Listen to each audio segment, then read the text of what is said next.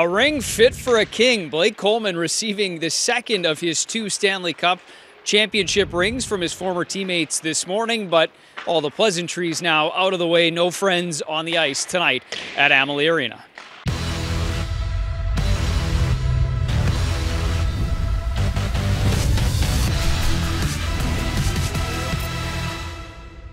Hello, everyone, and welcome to Game Day brought to you by your Alberta Ram dealers. Brendan Parker getting you set for the Flames and Lightning tonight. Uh, yet another test against one of the top ranked teams in the National Hockey League on this Eastern road swing for the Calgary Flames. In fact, the top ranked team in terms of points. That thanks to a win Tuesday night. The Tampa Bay Lightning took over top spot based on their points in the National Hockey League. That also snapped the three game losing skid. And don't look now, but they also get one of their top players back in the lineup, or at least that looks to be the case, according to their head coach, Jon Cooper.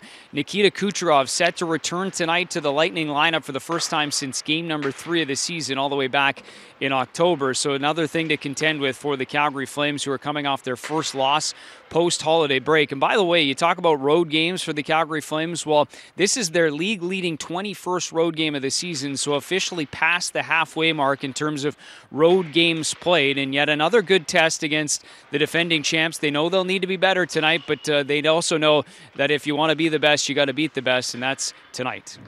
Yeah, I mean, we, we just got to get back to the way um, we know how, how to play to have to win. So um, you know, we know we're playing good teams, and but it's it's about us in here and, and sticking to our structure and um, knowing the way we need to play to, to have success. Let's take a look at who to watch, starting with Calgary native Brayden Point, who has eight points in five games since his return from an upper body injury that cost him 14 games. His goal Tuesday night, by the way, the 150th of his career, moving him into seventh all time in Lightning history, along with Brad Richards. And for the Flames, how can you not go with anyone other than the former Bolt himself? Blake Coleman returns to Tampa for the first time after winning his two Stanley Cup championships. He's also coming off his fourth goal of the season in Florida. Had a couple of chances to finish off a couple more as well. A career high 12 shots in that game. You know he'd love to get a couple more against his former team here tonight, and a win would be at the top of that list as well. In terms of the lineup tonight, a quiet skate this morning in terms of the morning session,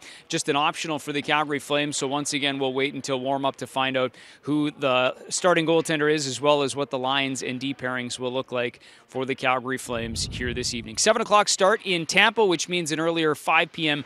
Mountain start back at home. Of course, post game we'll have a full recap coming up after the game.